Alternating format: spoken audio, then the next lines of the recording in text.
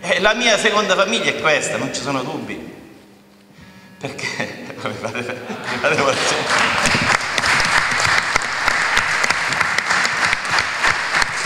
E questa perché per cinque anni ho sacrificato la mia. E questo, insomma, chiedo scusa a mia moglie e ai miei figli.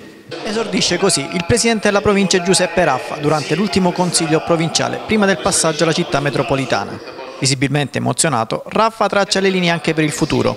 Cosa faremo noi da qua a qualche giorno? Insomma, noi continueremo la nostra vita, cercheremo di essere al servizio come lo siamo sempre stati lo faremo ancora di più interpretando la politica del servizio vero, concreto, reale, perché questa è la, la, la, forza che ci dà la possibilità di dire io non rispondo alle polemiche, io devo rispondere alla gente, ai bisogni quotidiani, a tanti disperati che si affacciano a noi alla ricerca di lavoro. Secondo il Presidente della provincia, la stampa perde di vista quelli che sono i valori reali della politica. Ringrazio i mezzi di informazione presenti perché poi la stampa purtroppo spesso perde di vista quelli che sono i valori che stanno alla base della politica.